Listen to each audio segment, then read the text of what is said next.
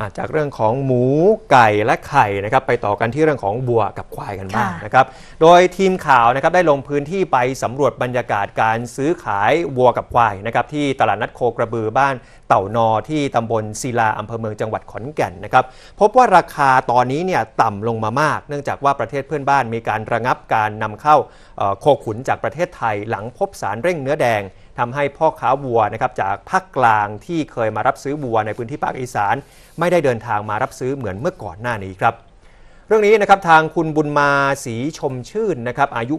58 ปี พ่อค้าชาวขอนแก่นบอกนะครับว่า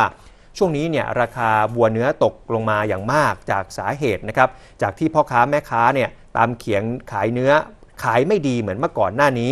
หากลงทุนไป 1 ตัวนะครับขาย 3-4 วันถึงจะหมด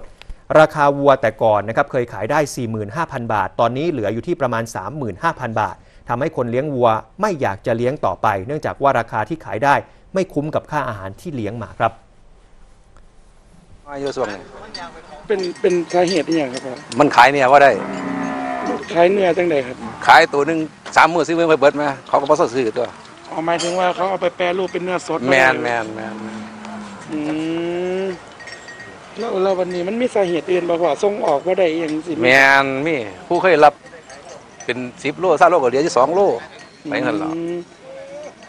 ตัวหนึงเขาขายสองมือมือสามก็ขาดขึ้นแต่เขาขายเขาแซ่ไปมันมันก็เป็นเนี่ยเก่าที่แบบนี้บ้าครับเอาละครับเออแล้วแล้ววันนี้ราคานี่จากแต่ก่อนนี่ตัวหนึงนี่เพิ่นเคยขายเท่าไหร่ครับห่วย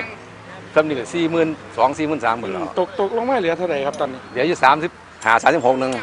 ก็ตกลงมาประมาณ5-6,000หน่อยแมนแมนแมน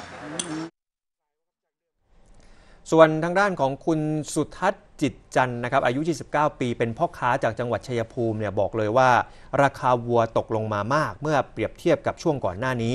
วันนี้เนี่ยเขาเอาวัวมาขาย 9 ตัว ขายได้เพียงตัวเดียวเท่านั้นซึ่งน่าจะเกิดจากภาวะเศรษฐกิจของประเทศอา ของทั้งประเทศด้วยนะครับ แล้วก็พ่อค้าจากภาคกลางที่เคยมาซื้อวัวไปขายต่างประเทศในช่วงนี้ก็ไม่มา เพราะไม่สามารถที่จะส่งออกเนื้อวัวได้ ตลาดนัดวันนี้จึงเป็นเพียงการซื้อขายกันเอง ระหว่างพ่อค้าในพื้นที่ ส่วนราคาวัวก่อนหน้านี้นะครับตัวละ 50,000ถึง60,000 บาท ตอนนี้นะซื้อขายกันที่ประมาณ 40,000 บาท หรือต่ำกว่านั้น ซึ่งถ้าเปรียบเทียบแล้วนะครับราคาเนี่ยตกลงมามากครับขับทรงบ่ได้น้ำนะครับ เขาพวก